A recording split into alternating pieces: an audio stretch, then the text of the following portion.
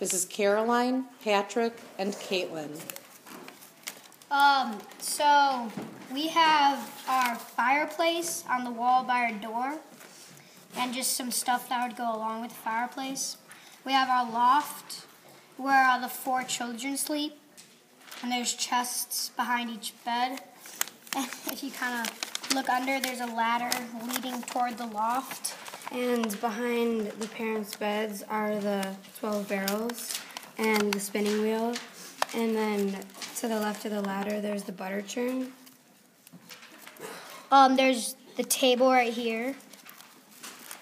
Um, and these are some.